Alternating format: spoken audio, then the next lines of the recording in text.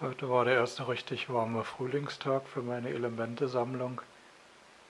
Dann wollen wir mal schauen, ob das Cäsium geschmolzen ist. Nee, das ist Brom.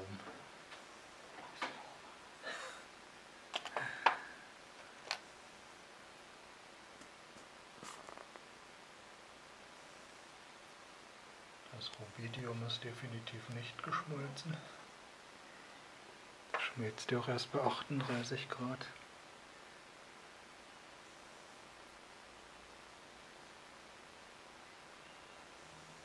Und das Cäsium ist geschmolzen.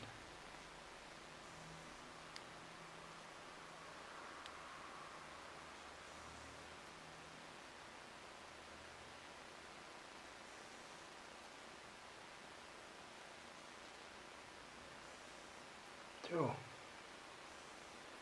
Bei YouTube haben einige Leute geschrieben, ich soll die Ampulle mal fallen lassen.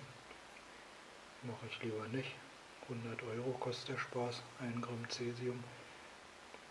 Und der Knalleffekt dauert auch bloß eine Zehntelsekunde. Aber sieht immer wieder schön aus.